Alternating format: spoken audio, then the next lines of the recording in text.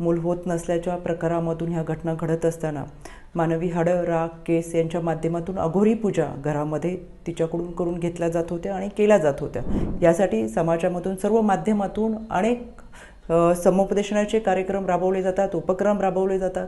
पण या तंत्रज्ञानाच्या जगामध्ये युगामध्ये आजसुद्धा जर अशा घटना घडत असतील तर त्या अत्यंत लाजीरवाण्या आहेत.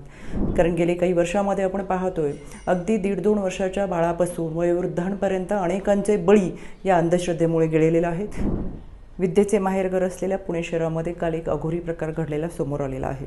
यामध्ये पैशासाठी विवाहितेचा छळ करत असताना तिला त्रास देत असताना अंधश्रद्धेच्या माध्यमातून मानवी हाडांची राख खाऊ घातल्याचा प्रकार समोर आलेला आहे.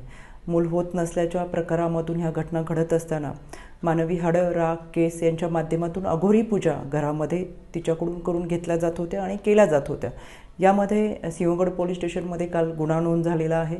याबरोबरच सशक्त दोषारोपपत्र सादर होणंसुद्धा फार गरजेचं आहे. आणि अशा घटना घडूच नाही यासाठी समाजामधून सर्व माध्यमातून अनेक समुपदेशनाचे कार्यक्रम राबवले जातात उपक्रम राबवले जातात. पण या तंत्रज्ञानाच्या जगामध्ये युगामध्ये आजसुद्धा जर अशा घटना घडत असतील तर त्या अत्यंत लाजीरवाण्या आहेत.